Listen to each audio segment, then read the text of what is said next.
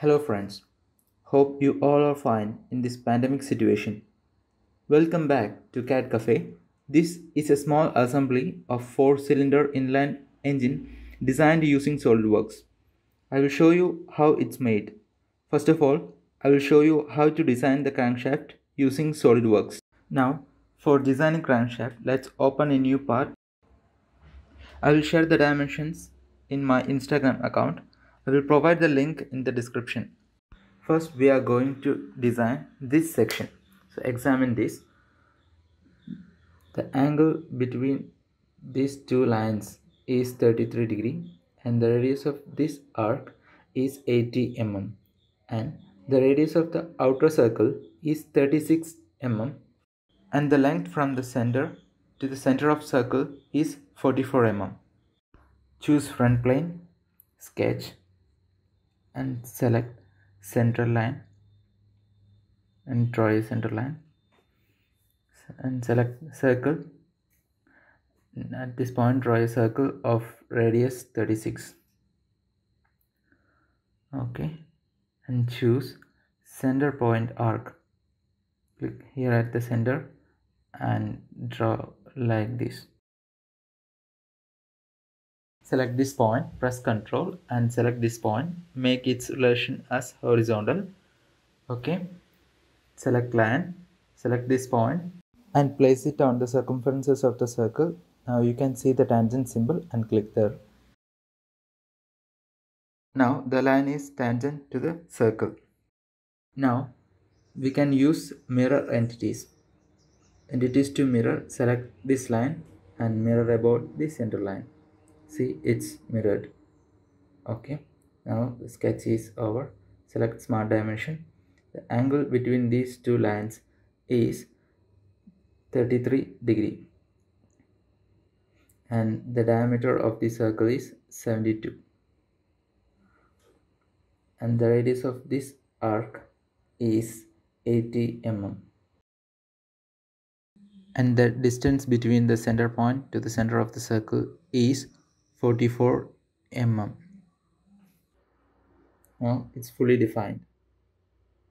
Okay. Now we need to extrude this. So select features extrude boss or base and select this we need to extrude this to 50 mm. Okay. See it's over and we are going to design this portion of radius 54 mm and of width 46 now select this face and sketch. Select circle and place the mouse pointer over the outer circle. You can see the center point. At the point draw a circle of radius 54 by 2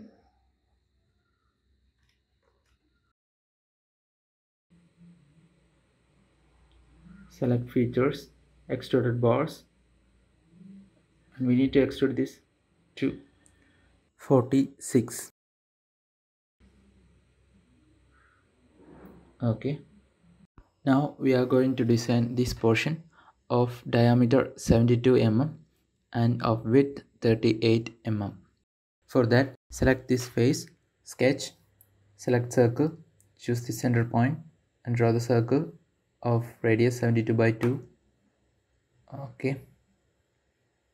And features extruded boss or base 38 mm.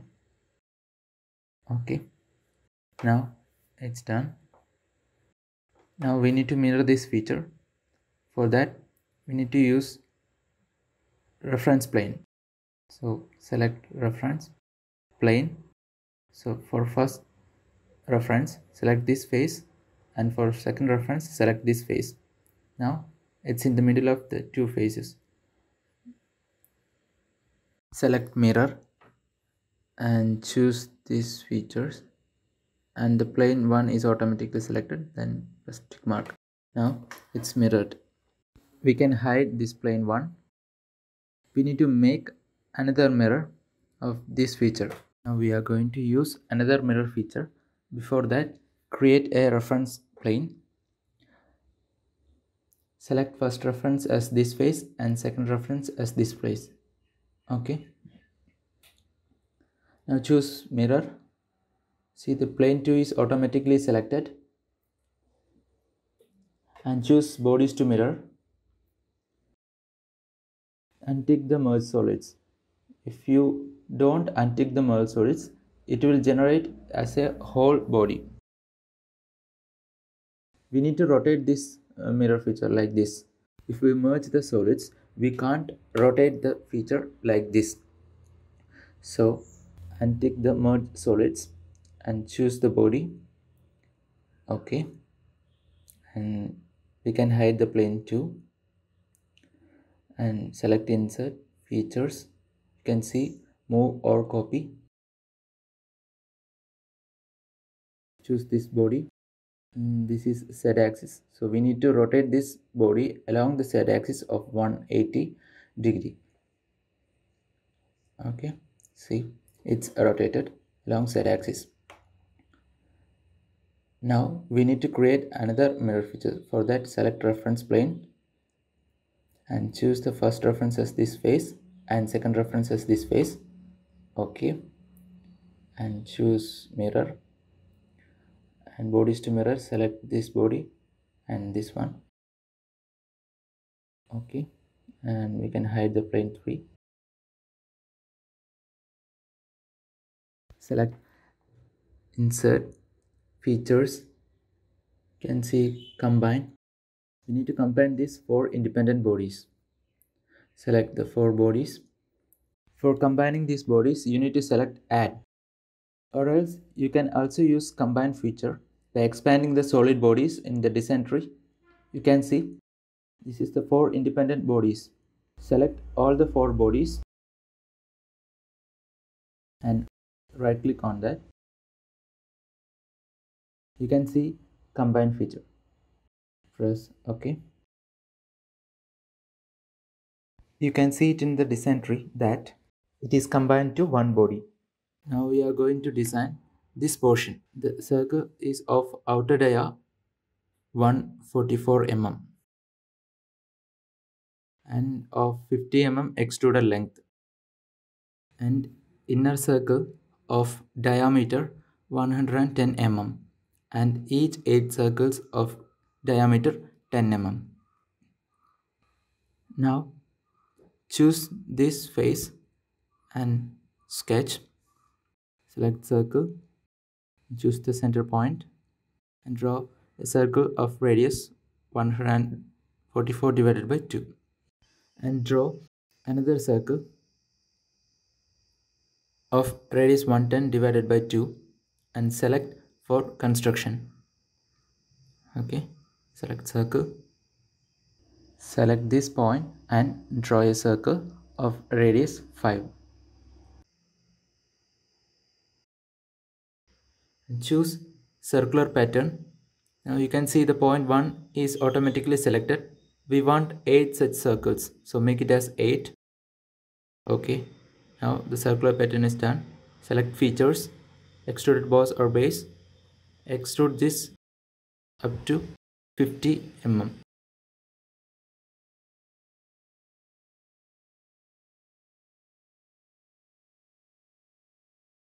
See this feature is done. Now we are going to design this section of radius 32 mm and of length 80 mm. For that we need to choose this face sketch and select circle choose the center point and draw a circle of radius 16 mm. Okay select features extruded boss or base and extrude this up to 80 mm. Okay. Portion is completed.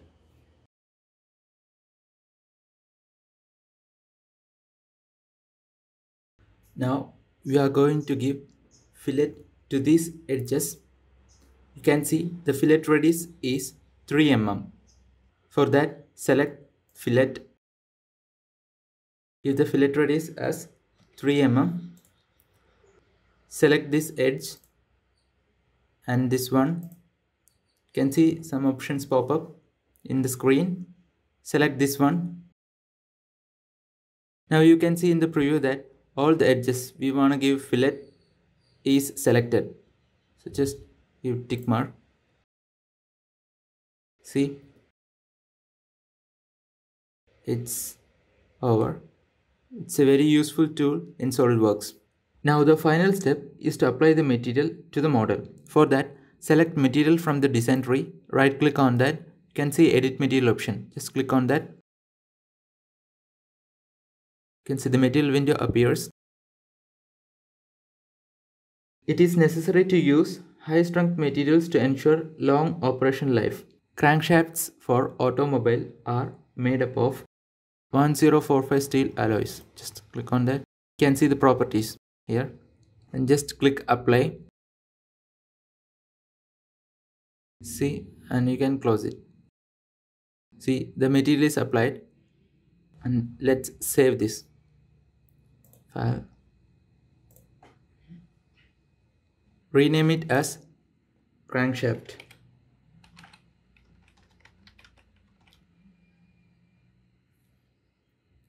okay now our crankshaft is ready i will post the next part of this assembly on the next video Please subscribe CAD Cafe for more updates.